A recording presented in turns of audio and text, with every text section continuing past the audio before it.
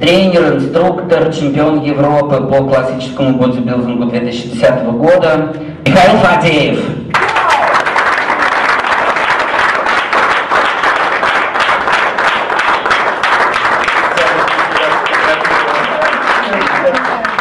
Мне коротко, да? Нет, плохая примета.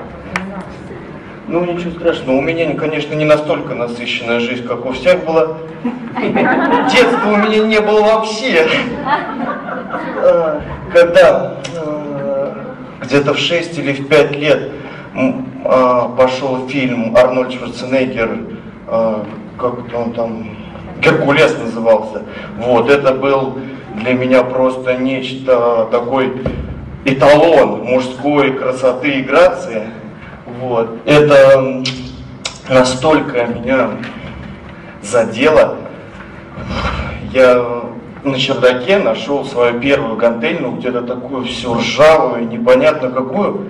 Вот. И начал просто откуда-то свыше начал делать какие-то неимоверные упражнения, как, как будто у меня они были уже где-то глубоко в подсознании. Лепил просто от себя тяну такую неимоверную. Вот. Лепил где-то с шести, в- ну, в 5-6 лет я начал заниматься. Да, вот. Мне потом вытащили на Тверском вагонзаводе две такие красивейшие вороненые гантели. Я прочитал залпом три тома Арнольда Шварценеггера, там даже уже не помню, как они называются. Вот, и потихонечку, потихонечку стал стремиться, стал смотреть, начал красоваться в зеркале. Детства так и не было, в принципе. Вот, да, с- мне со сверстниками было всегда как-то неинтересно. У нас не было общих каких-то интересов. Меня всегда тянуло более к взрослому поколению. Там 40 лет, 50 лет, мне с ним было всегда интересно пообщаться, перенять их опыт жизненный, как-то замотивироваться вот, на тренировке. Потом со временем меня заметил один человечек, как его стали потом называть мой второй крестный папа, вот, Густав Александр Николаевич. Вот, это мой стал непосредственный гуру, вот, который меня направил в спорт, дал ну, первый, самый основной залп э, по технике выполнения, по диетологии, по всем распорядку дня, рациону. Вот, да, это одни из первых там тренировок. В 10 лет провел в полуподвальном зале, в таком просто, где вот, в принципе, самый основной был костяк, это полузакрытый зал, а, один э, тренерский состав, чемпионат России, вот, и около 70 человек я просто курирую, там, и онлайн курирую, и по диетологии, то есть пишут, звонят, говорят, вот, все, встали, потолок, не знаем, что делать, как жить дальше, что делать. Вот, садишься, заводишь большую кипу на человека, все расписываешь и неделями сидишь, думаешь, где уперся, где потолок, что как, мотивация падает, мотивация на нуле, все, начинаем собирать консилиум, всем пендали раздал, все, разобрались, все, люди пошли дальше работать, вроде как так, так и пошел. Вот. Что когда заставляло, сам не знаю, вот просто дождь, град, там потоп, все, у тебя расписание по тренировкам, тебе нужно идти, несмотря никуда. Даже вот э, тут на той неделе э, сильный подвывик голеностопа был, но понедельник, тренировка, кое-как забинтовались, пришли, тренировка должна быть. Куда, куда, ни- никуда не денешься. Вот так, так, в принципе, все до сегодняшнего дня, до 29 лет, каждый день стабильно, по 4-5 раз в неделю на тренировках. Даже эту путевку подгадал, чтобы вот было вот две недели отдыха стабильно всегда после каждых циклов тренировочных процессов положено две недели дать организму от всего отдохнуть. От питания, от распорядка дня, от рациона. Просто, да, в лед пустить организм. Наш во все тяжкие. Да, все можно. Так что вот так вот. Может вопрос какие есть? Я.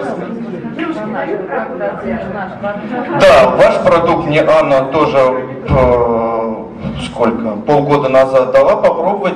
Вот, что я ощущаю на себе, это мне в первую очередь что понравилось. А, продукт с низким гликемическим индексом. То есть а, сахар у меня не скачет. Очень важно, а, чтобы был низкий гликемический индекс, потому что ем я много, ем я 10 э, раз в день. Вот, через каждые два часа у меня стабильно расписано. И коктейль я пил до тренировки за 15 минут, чтобы метаболизм поднять на высокий уровень, килокалорийность вывести, чтобы на тренировке чем, на чем-то работать. И после, и после тренировки я пил для, э, как бы для восстановительного процесса, чтобы восстановить мышечную массу и метаболизм держался на высоком уровне, чтобы процесс катаболизма, который во время тренировки у нас развивается, не сжирал мышечную массу, а работал на жировой. Вот. И попробовал витаминный минеральный комплекс. Я его принимал по пакетику именно после завтрака. У меня в основном витамины минеральные были после завтрака. Вот. Значит, а, у меня ускорился метаболизм. Сейчас объясню, что у меня как бы весь распорядок дня у меня все записано. То есть по килокалорийности, по рациону, по диетологии, сколько конкретных килокалорий мне нужно в день, в какое время года, в какое время суток и в какое время. Вечернее, ночное. Вот это все строится по диаграммам, а, в графиках, в таблицах, а потом вот смотрится и сверяется а, какие изменения, какие приросты мышечной массы, какие изменения в теле. Вот. Мы как архитекторы своего тела мы, что мне больше в этом спорте нравилось, мы всегда подтачиваем, смотрим себя, здесь надо убрать, здесь прибавить, чтобы как, как скульпторы появят свою Афродиту, так и мы из себя и своих подопечных. Вот. И мне понравилось то, что у меня сократился период восстановления. У меня на сон стало уходить меньше времени, 6-7 часов мне стало хватать высыпаться. То есть это значит ферментативный витаминный минеральный уровень приходит в норму. То есть и организм затрачивает меньше энергии. Вот. И что мне понравилось, хорошая концентрация омега-3. Омега-3 для спортсмена очень важна и при наборе мышечной массы, и для сжигания подкожного жира. Вот. И также укрепление сердечно-сосудистой системы. У спортсменов сосуды должны быть как трубы. И капиллярная сетка тоже разветвленная, потому что без этого он сдохнет на тренировке. Так что так. Конечно. Что вы посоветуете? Э, вот у меня, например, при нормальном индексе массы тела избыток жировой массы. Какой? Конкретно. Вот что посоветуете? Значит, нужно посмотреть, а, сколько мы потребляем, а, есть такие формулы, существуют, количество затрачиваемых энергий, количество потребляемых, чтобы КПД затрачиваемых был несколько выше, чем потребляемых. Нужно посчитать, сколько мы кило, килокалорий потребляем, а сколько мы затрачиваем за обычный день. Это не обязательно, что нужно физические нагрузки вводить какие-то до умопомрачения. Нужно посмотреть просто, как мы проводим активно или неактивно весь свой Э, если не трудно, давайте чуть-чуть сменим формат. Если вы хотите... Вот он их вырабатывает, а потом уже работает на жировой клетчатке организма. То есть быстрая ходьба, вот, именно со сменой интервала. В гору, с горы, прямая пересеченная местность, песочек, асфальт. То есть наиболее лучше вот эта именно интервальная тренировка влияет на а, подкожное жиросжигание. Вот. Можно даже переходить в легкий бег трусцой. То есть нам важно именно не интенсивная тренировка, именно ее интенсивность, а важно а, время проведения физической, продолжительность тренировки. То есть она должна еле переходить на бег, вот, легенько, но без а, хорошей обуви должна быть амортизируема обязательно, потому что а, если плохо подобрана обувь, у нас очень большая нагрузка на позвоночник, постоянно долбит, вот, и нагрузка на головной мозг идет. То есть, то есть должна вот вот типа вот так, зигзагтековский, да, в частности. То есть вот так вот. пока для начала, очень хорошо бассейн. То есть особенно когда сколиоз, лордоз, там небольшой кифозик, вот, бассейн помогает очень хорошо нагрузить мышцы, но без осевой нагрузки на позвоночник. А это как нахождение в невесомости такое. Мышцы работают, а нагрузки на костную, костную систему нет. А, и что тебе вообще помогает вот, двигаться дальше? Потому что вроде уже и чемпион Европы, и уже заслуженный тренер России. Вот эти два вопроса меня, например, всегда очень интересуют. А, на самом деле, а, сначала была просто такая дикая самомотивация, потому что никто мне не верил. А отец говорил, у меня не было в роду и прадедов никого спортсменов вообще. То есть и на меня так посмотрели, еще такое в виска поводили, думаю, какой-то тут у нас ненормальный в семье появился. У меня не было, обычно всегда хорошо тренироваться с напарником, что по первости особенно. Он тебя подгоняет, поджопники дает, ну ты что, сегодня вроде не погода, давай дома останемся. Он должен прийти тебя как-то растормошить. У меня такого не было, да еще и родители постоянно говорили, да зачем тебе это надо, в старости все обвиснет, вот это вот постоянно. Моему главному тренеру 92 года, вот, он мне еще фору может дать э, прилить, Всего у меня четыре тренера, вот, и они до сих пор остаются моими тренерами. Просто иногда я им что-то подсказываю уже с точки зрения своего опыта, что-то они мне подсказывают еще своего. Зарегистрированный в Oriflame, я понимаю, берете Oriflame, да? Я, я беру, да, но не зарегистрирован. Ну, а рекомендуете своим подопечным? Что да, естественно. Конечно. Пока, пока так. Пока так. Пока так. Перепробовал. Я всегда, когда хороший продукт, я всегда советую своим подопечным. Э, все равно вечернее время или утреннее? Как лучше? А, лучше, лучше всего, когда а, анаболизм у нас в пике, вот 3-4 часа. Потому что в 5 часов организм так или иначе все равно готовится ко сну. Я вот всегда был против зарядки, например, в утреннее время. Всегда против был контрастных душей, по утрам кофе, по утрам то есть я на конференциях постоянно с докладами даже выступал по тему. Это очень сильное возбуждение центральной нервной системы, особенно по утрам. Я был всегда против этого, потому что а, организм еще после пробуждения 2-3 часа еще в такой меланхолии находится, он постепенно пробуждается. Вот. И то же самое вечерняя тренировка, когда организм уже готовится ко сну, метаболизм замедляется, все процессы гормональные тоже притупляются, и тут ему такой всплеск дают, когда он просто в шоке. То есть вот самое с 4 до 6 часов, вот это самое оптимальное тренировочное время. Спасибо. Следующий вопрос. Когда принимали коктейль, вы сами в какой дозировке это пили? Такой же, как мы пьем? Или специально какой-то? Не, у меня дозировочка была посильнее, я три за раз выпивал. Вот, тогда ощущаю, да. То есть и по объему три, или просто густота другая? Просто есть люди, которые тоже занимаются так же, как и вы, интересно им рекомендации какие-то? Нет, я пил сразу три, замешивал и выпивал их перед тренировкой. Да, сразу, сразу три коктейля. Да, да, три порции, потому что вот есть, смотрите, там 100 миллилитров воды, то есть вы брали 300 миллилитров да, воды? Да, 300 миллилитров молока я выпивал, а, и, да, и три порции. Вот, по, мне просто по концентрации белка на мою массу сотку, вот, белка самая оптимальная. Для то есть вот это было до тренировки, а после тренировки? После тренировки одна.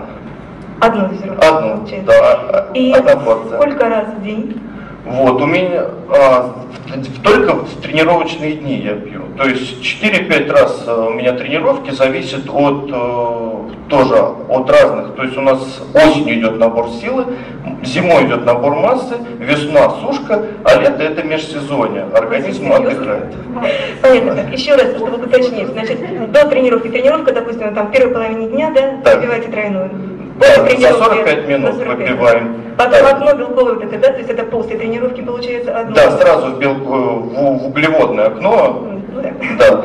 да. Выпиваем сразу еще одну порцию. Не позднее, чем 45 минут. Нет. Нет, у меня еще два ужина. То есть коктейль больше не пью? Коктейль больше не пью. То есть вот только так? Да. Спасибо. А где-то есть еще информация, которую можно прочитать на эту тему от вас? То есть личный опыт времени именно wellness. У нас э, нет, у нас спортсмены очень такие скромные, и даже свои награды я просто Анна попросила сфотографировать. У нас это не принято. Он, есть тайные комнаты такие у всех спортсменов, они закрываются, их там никто не видит. У нас очень суеверные люди, у нас нельзя награды показывать через штангу переступать. Мы постоянно говорим с ней, чтобы она нас не прижала. Веса очень большие, да, у нас это как водитель с машиной разговаривает, так и мы. Еще один момент. А, Я знаю, что есть коктейли, которые профессиональные. Есть, Если конечно. сравнить профессиональный коктейль, который для бодибилдеров именно, да, и наш коктейль, преимущество нашего, кроме того, что м, низкий гликемический индекс.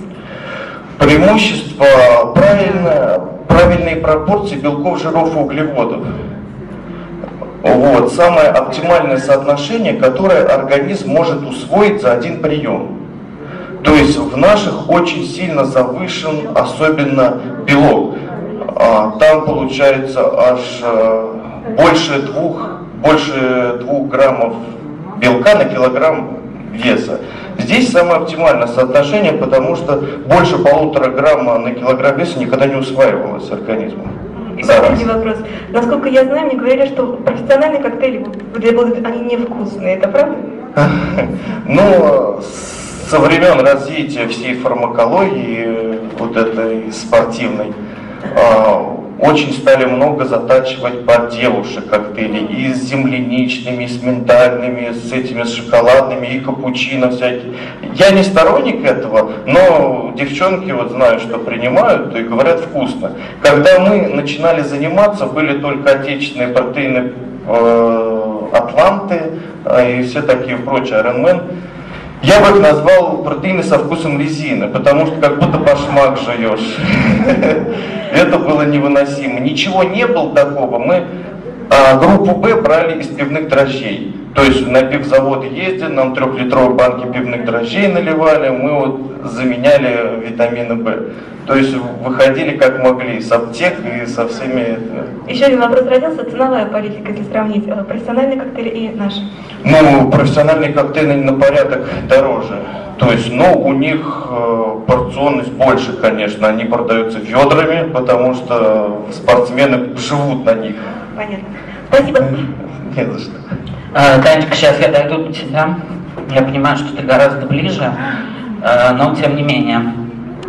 Миш, вот скажи, пожалуйста, э, если вредно будить организм кофе, то что ты порекомендуешь? Я порекомендую самое оптимальное а, стакан, если нету высокой кислотности кишечника, а, стакан воды с долькой лимона. Он пробуждает организм намного лучше. И во время завтрака лишние углеводы, особенно быстрые, они не усваиваются под действием лимона. Всегда, кто худеет, они добавляют омегу-3, клетчатку и перед каждым приемом стакан воды с долькой лимона. Она уже имеет какой-то объем в желудке, мы много не съедим, и плюс лимон не дает усваиваться быстрым углеводам. А комнатная температура... Да. Ну, как правило, говорили, что вот, э, ну, рекомендуют пить холодную воду на тренировке. То, что организм затрачивает лишнюю энергию для согревания этой воды. Но это очень ничтожно на самом деле. За это не, не надо цепляться и себя там заливать в холодную воду. Комфортную комнатную температуру кипяченой воды. Хорошо, а если wellness будить организм, нормально? Это да, это хорошо. Спасибо. Перед завтраком. Э, Итак, друзья, еще, пожалуйста, вопросы есть два пока. Я думаю, что появится еще. Михаил, скажите, пожалуйста, как вы, какие пендали вы задаете своим девушкам, если они вообще не мотивированы, на нуле мотивация? Чем я ставлю? Пендали какие-то, А. если нет мотивации.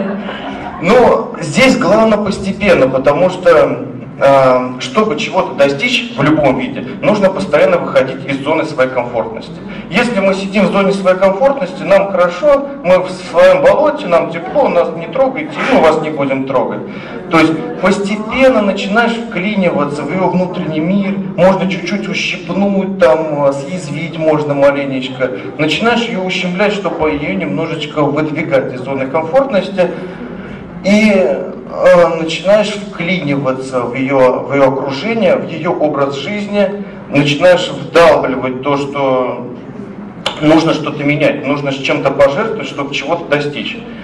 Постоянно нужно вот это мотивировать, потихонечку смотреть, э, ставить как макроцели, так и небольшие микроцели ставить, чтобы а, ей было достичь этого на своей стадии развития. То есть буквально маленькие цели на недельку, на две, на три, делаешь ее изометрию всю, э, замеряешь, вот, и постоянно ей указываешь, вот смотри, идут результаты, идут, идут, идут, чтобы ее на первых, на первых порах замотивировать, заинтересовать как-то этим спортом. И, конечно, нужно с квалифицированным тренером, потому что если она без тренера, техника не, не стоит, не, неправильно все делает, э, и в результате быстро перегорает и к, и к спорту, и к себе, и ей уже будет неинтересно, и она затухает, и она уходит из спорта. Вот здесь главное вот постоянно ее теребить, зажигать, постоянно ей названивать, что ты, как ты, что ты ешь, с кем ты спишь, что тебе снится, постоянно. То есть у меня на каждого человека по такому талмуду я знаю о, о своих клиентах больше, чем они знают сами о себе. Вот это постоянно. Как бы особенно сильно большого избытка веса никогда не было, но возраст уже 40 лет, двое детей, и как бы тонус мышц не тот, который хотелось бы. Клубная карта годовая куплена без лимитка, но вот как бы то идешь, то не идешь. Вот что бы вы посоветовали, какое количество раз в неделю надо посетить фитнес-зал? И основные упражнения в первую очередь для мышц пресса. А, неужели годовая карта не мотивирует ходить в зал? Это к нашему, Михаил, к нашему разговору вчера, что да, да, если да. человек заплатил, то он готов выходить. Работает не всегда как бы дополнительная мотивация, да, и все-таки есть ли какой-то рецепт? А, на самом деле, что касается мышц пресса, все о, как бы неправильно думают, что вот сразу вот у них вот животы, а, кишечники расшатаны, в результате давит на пресс, а, на стенку пресса и начинает это распирать по бокам. Вот. И все начинают, значит, первым делом на скамейку, начинают скручивать, поднимают ноги, спина не держит, прогиб, в результате забита вся поясница, все, инвалиды пошли. В данном случае а, кубики как таковые, вот прямая мышца пресса, они никогда не прокачиваются. Укрепляются внутренние стенки пресса. То есть у нас есть внешний слой мышц и внутренний слой мышц. Укрепляется всегда внутренний. Даже если а, 18-16 лет укрепить внутренний пресс, а, кишки всегда остаются внутри. А, здесь он никогда не выпирать не будет ни в 40, ни в 50, ни в 60 лет. Вот, укрепляется всегда внутренний корпус, а подкожник сжигается вот, на внешнем прессе, и внешний пресс проявляется. То есть укрепляется мышцы кора. Если интересна тренировка по мышцам кора, я потом покажу. Ничего не нужно, нужно только метр на метр пол, да, и желание и мотивация. Можно еще коврик. Э, следующий вопрос, спасибо. И следующий вопрос здесь тоже есть. Сколько раз в неделю тренироваться? Три раза в неделю достаточно. Угу. И следующий вопрос, пожалуйста. Добрый день, Михаил. А, вы говорили, что кушаете 10 раз в день. Да. Каждый прием пищи это белковая еда? Нет, конечно. А, значит, э, сначала больше углеводной пищи. С, с утра? Да, с утра. То есть с утра до обеда идет больше углеводной пищи. Кашки?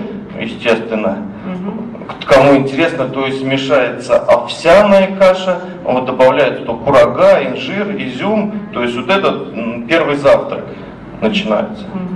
То есть, чтобы запустить все механизмы. Сладости любите вы? Сладости, ну, как и все, тоже люблю, но любая любовь к продуктам – это та же самая привычка. А привычки можно изменять. То есть э, можно как к одним продуктам привыкнуть, так и к ну, другим для продуктам. Для вас сладости не полезны. А сладости тоже нужны, когда нужен быстрый приток сахара, скажем, когда суп максимальными весами работаете, особенно на соревнованиях, сахар падает в крови, мутит, или же, когда на допинг-контроле, вот в Калифорнии был допинг-контроль, перелет был очень сложный, Вот. Нельзя было ни кофе, ни сахара, ничего нельзя, потому что пробы крови, если покажет, все снимут соревнований. Вот. Ну, когда все, допинг-контроль прошли, немножко можно сладенького, шоколадку там горькую. Что, То есть все в меру. Да, все в меру. Везде нужна золотая середина. Все, все можно. Сколько раз в день вы мясо кушаете? Мясо два приема пищи у меня. Но вот э, особенно по зиме. Да, объем порции меня интересует еще. А порции у спортсменов меряются стаканами. То есть э, Вот, например, кашку утром вы сколько с- сможете? два, два по 250 стакана. Уже готового продукта. Да, готового продукта. На молоке. Все продукты, как правило, в стаканах берутся. Ну, наверное, такой объем у вас же не сразу. Вы начинали, например, кушать вот Не, естественно. там 10 лет. А, все, все расписывается с учетом массы тела. То есть э, как варьируется вес. У нас идет э, масса наборная, мы где-то на 20 килограмм в межсезонье, то есть я 125.